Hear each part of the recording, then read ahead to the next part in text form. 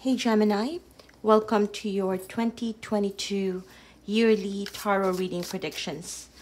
Yeah, this would be for those of you who are wanting to get insights on what's coming up for you in love, in life for the um, the upcoming year 2022. So in this reading, I will be using my my very own um, new tarot deck. So yeah, I've released um, the Nomad Soul Warrior tarot deck limited edition. Currently it is now available at um, my etsy shop. The link is in the description box if you're interested.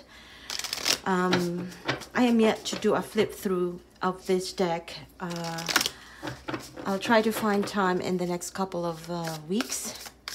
But uh, for the meantime let's use this for your reading and um, let's get let's give this a spin. For gemini in love and everything in between. To all my subscribers, thank you for your continued support. And if you're new to my channel, welcome. All right. If you get this um, deck, by the way, you get a free book that comes with it mm -hmm. during this month. Yeah. So check out my Etsy shop in the link below or you can follow me on Instagram at Nomad Soul Warrior. I also have the link in there or you want to DM me, you know, message me if you have any queries. All right. All right, Gemini, let's get started. Gemini. Gemini 2022. One more. Gemini, Sun, Moon, Rising, Venus, and Jupiter in love. First card. Oh my goodness, it's the Ten of Cups. Beautiful. Love it. Death. The Page of Wands. The Hangman. Um, two of Wands.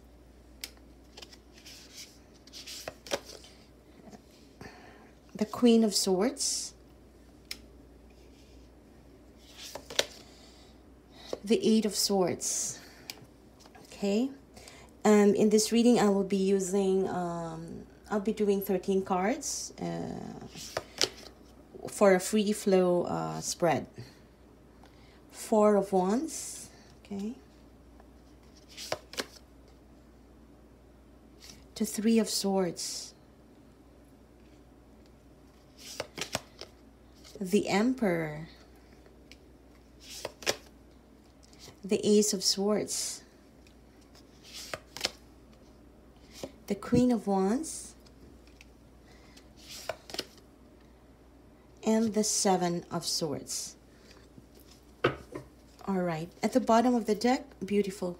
You have the Ace of Wands. Oh my goodness, I love it. Let's just do it this way. Okay, I hope you can see all the cards. Um, all right. Okay, so for 2022, Gemini, basically your focus is what makes you happy? Yeah, what makes you happy? What makes you feel um, emotionally satisfied? Um, what gives you pleasure? Yeah, without any forcing, without any um, push and pull. So that would be your main focus for the year.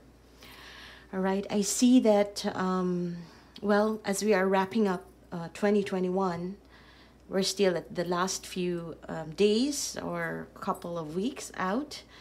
Um, I know that there's been, I could feel that in, in your um, in your current situation, there could be, um, you know, a lot of uncertainties, a lot of um, conflicting ideas as usual, right? As in any life that we have. But specifically on your end, um, I feel like you may have um, you may have put off uh, a situation in your life that no longer uh, sort of serve you. This could be a relationship you know if you have been in in a relationship for some time and or if you have been in connection for some time and even up to now, you realize that you can never be on the same page with this person. The way you think, the way you process things, the way you do things are totally different from from this individual that I see. And for some reason, I am getting that you could be having conflicts with this person or just within you, you feel like you know, a relationship shouldn't be as hard as this if both parties are, are going to be working together. But apparently, on your end, I feel like you may not have really reached this Ten of Cups in this year. And hence, the first card we have on this uh, spread here is Death. It seems like there's been an ending. It's either things have ended between you and another party, or you have allowed things to end, right? Without you really fighting any any battle at all. Yeah, for the main reason, as what I've said, you seem to not be on the same page or you know you cannot get to a, a compromised or a win-win position yeah in that situation but nevertheless that ending is actually not the final end of it all yeah. I feel like that that ending has to end whatever this is. It could even be about your job. Yeah. You know if you have been working for so long and um, you are not getting the credit, the um, the credit that you feel you deserve, right? So it could be that you have ended the struggle of really fighting for something in an environment where competition is just too it's not hard but rather you know it's not worth the fight you know something like that I feel like you allowed things to end, and actually, that gives way to transforming your life into something more uh, passion driven. Yeah, into something more passion driven. I do see here, um, Gemini, that, um, let's see. Um, I do see here that you have a lot of fire within you. You know, fire can be about new ideas, new um, new things that could um, motivate you, that could bring some, you know, that spark within you, that could give you some reason to continue, give you some reason to live at some point, right? And the biggest takeaway you have from from this year, 2021, and as you ease into the next year, I feel it's more about being ready to take on new things and not be afraid of, of just, you know, of diving into new venture, into new things, right? Sometimes we get to be in, in situations for so long because it seemed to be very comfortable, yeah? Even if you have a partner or you have a person in your life who probably has been your ex for I don't know, maybe three years ago, and then you became friends, and then it seems like it's very comfortable to have that person in your life, but it's no longer serving you well. Yeah, it could even be that the um, the connection you have has gone, I don't know, tiptoed, or the scale is imbalanced. You know, only another person is gaining more, while the other person is just waiting for that person to give more. So that has to end.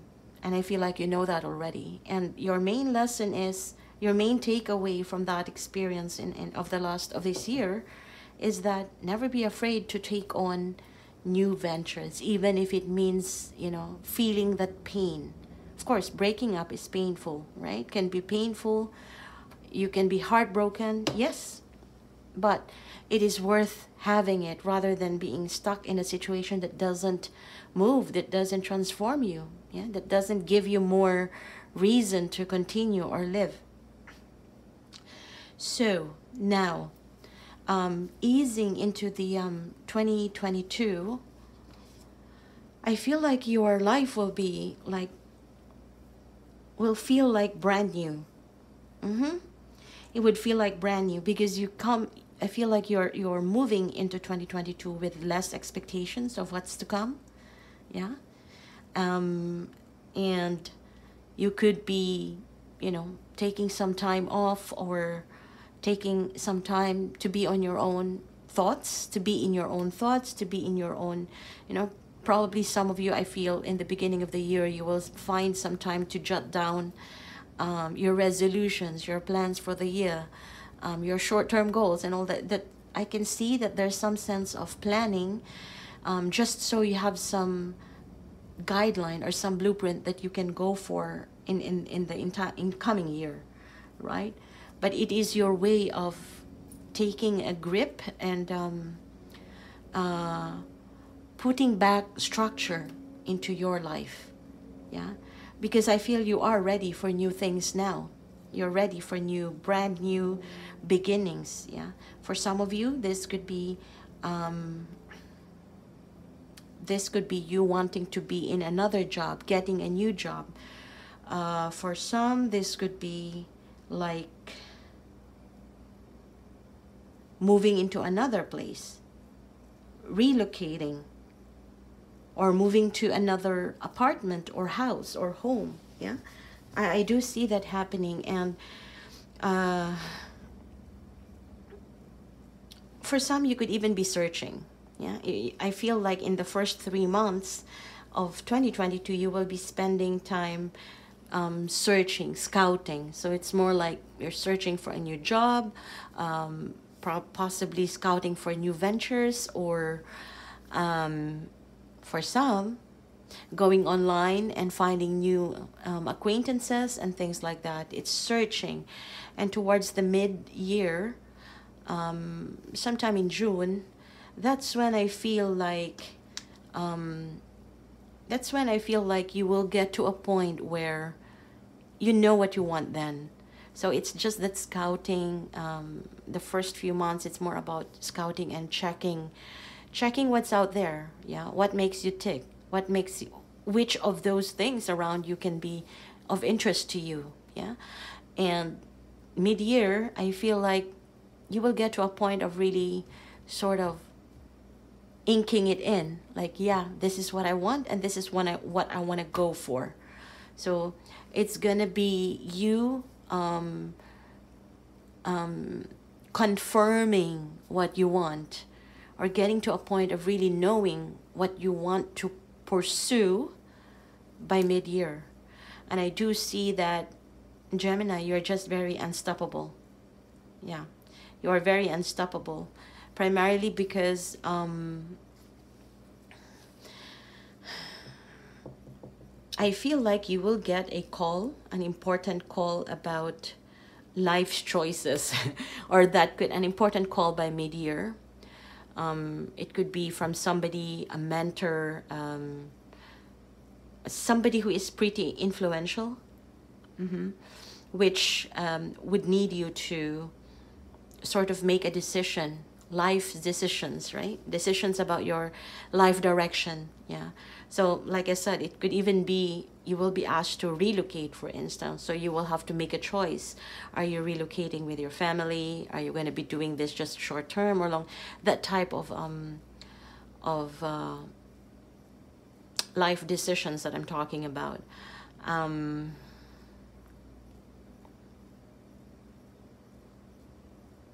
but you, you will get a call yeah you will get a note you will get a form of information that will come to you which could really encourage you to to think deeper.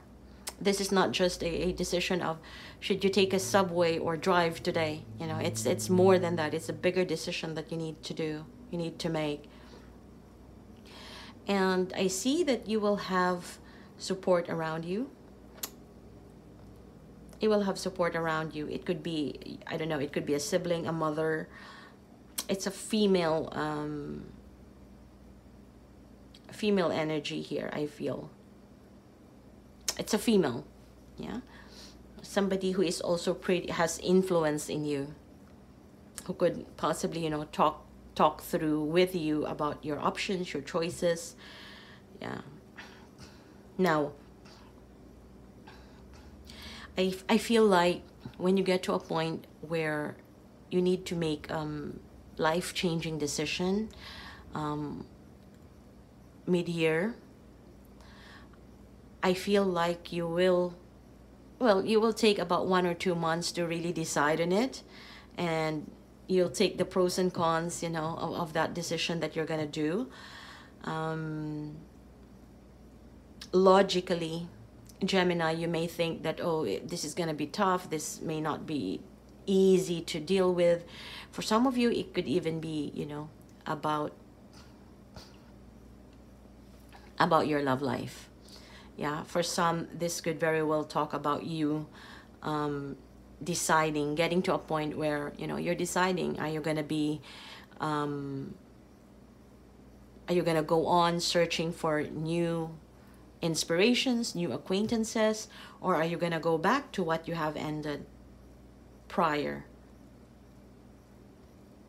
But somehow I feel like you will have to go through that in your head. Yeah. And logically, at some point, you will hit a bump there, and, and, and you would think that, oh shit, this is not possible. It is very difficult to do. But sometimes the key element here is that your mind can only analyze so much. Yeah anything beyond its um, normal threshold level, it becomes overthinking. And the more you overthink, the more you can never get to the to the um, to the desired outcome. So the, the key here is that this decision, especially in the mid-year where you will be faced uh, a situation where you have to make some um, life-changing decisions, you do the analysis logically. That's good. But always remember that after, I don't know, perhaps after two weeks or so, when you have um, done all your thinking, get down to basics, meaning start doing some something to do, like something, move it. Yeah, not just think about it, move it, do something about it. Because the moment you start doing it, um, along the process, you will see that there are some nitty-gritties in there that could give light to the situation, which could give you more information, yeah, or additional data for you to really think things through again. So at one point in time, you know, sometimes if, if you have a decision to make, you want to do it, you want to get to the bottom of it right then and there. It doesn't it doesn't work that way. Think things through. If you have the, the basic or the, the primary plan, start executing it because along the way definitely there will be causes of errors there will be course corrections along the way right so think things through but move it yeah that's that's your key here because what i see here gemini is that mid-year um, decision time that you need to do if done well if executed well yeah um, that's an endeavor that will need a lot of your personal touch to it. So mostly if you are doing things, if you are doing a project, you know, or if you are, yeah, if you're doing a project, for instance, you, you will have some people to help you out, for example. but in this case, I see that sometime in the fall or heading towards the end of the year, there will be a lot of things, a lot of situations where you make the decisions and you do the action as well. No one, no one is good enough to help you but you. So there is a lot here in terms of self-reliance that I see. And but nevertheless, it's it's a good thing because perhaps this is the the beginning of it all. That means you got to put a lot of effort in the beginning, building on the foundation and and doing exactly the things that you want to pursue. So in the beginning it's going to be a lot of work for you but that's how it usually is. In the beginning there's a lot of work but later on you can get some help to, for ex, um, additional you know pair of hands to help you out with little work but the beginning of it all from the decision making to the onset of the endeavor it's all about you. Yeah? And there are some areas there where you would need your own um, you know unique abilities to solve issues on your own. I think there's a lot of self-reliance here i feel. Yeah?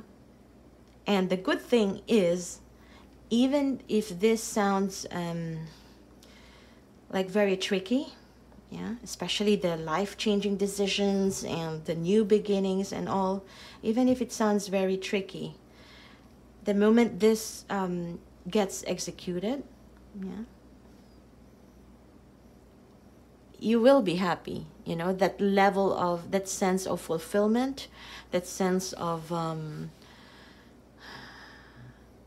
yeah, it's more like uh, fulfillment that you have attained um, or that you have completed or attained um, whatever you need to do after making that life decision. That means you made the decision, you stood for it, you executed it, and at the end, you see it happening the way you wanted it to. And there's that level of, you know, fulfillment. Now, um, I feel that this reading is mostly about you. But if we're talking about love, for instance, yeah, I feel like at the same time about um, you know mid-year there could be somebody who would be uh, I feel that there would be two people Gemini um, it could be one or two people right but there are additional I mean there are energies around you approaching you whom um, um, you have here someone I feel from the past. You have had some experience with this person and it feels like there's going to be a talk. They wanted to make this um, to have this conversation with you because I feel like this person is also similar to you somebody who, who thinks a lot. And at some point they already got to a point where they don't know what to think anymore yeah they've they will hit the road roadblock on on how to like make it work with you so I feel like you will get to a point where, you know, this person will reach out to you. Another energy I see though is that um, for some of you, there could be a, an interesting, I don't know, this could be a secret affair that I am getting. This could be you, um, you know, just being busy with whatever you're doing, making your life-changing decisions mid-year and you meet someone who sort of hot, um, alluring type of person or, you know, and you just click, you know, at, at some point you just click with this new person, but you're not really intending for, for things to really be serious. That's what I feel. It's not even a rebound. It's more like the spur of the moment. You hit, you meet someone who sort of have that very strong chemistry towards you and and I feel like you will click at that moment yeah and for some reason I am getting that this could be like a secret affair it could continue yeah even towards the end of the year that there is this secondary energy you may not be focusing on it so much but then when the need arises you will get to meet this person. So it's a little bit tricky but yeah let's just stick to um, to that for now. And um, let's see if we're able to dissect that in the upcoming readings. I'll do more of this readings hopefully. So yeah I'm gonna leave it at that and let me know if this resonates with you Gemini in the uh, comments below. Don't forget to hit like and subscribe and also um, if you're interested to get the um, the tarot deck check it out in my Etsy shop the link is down below if you order it this month or this last few days of the year, um, you get the Divine Time book for free. The good thing about that is in this book, The Mystical Tale, the characters here are actually the characters that you will see or depicted in, in the cards. So I wrote this book and I also designed these cards um, all together to be some sort of a pair. Okay? And don't forget to follow me in Instagram. Be well.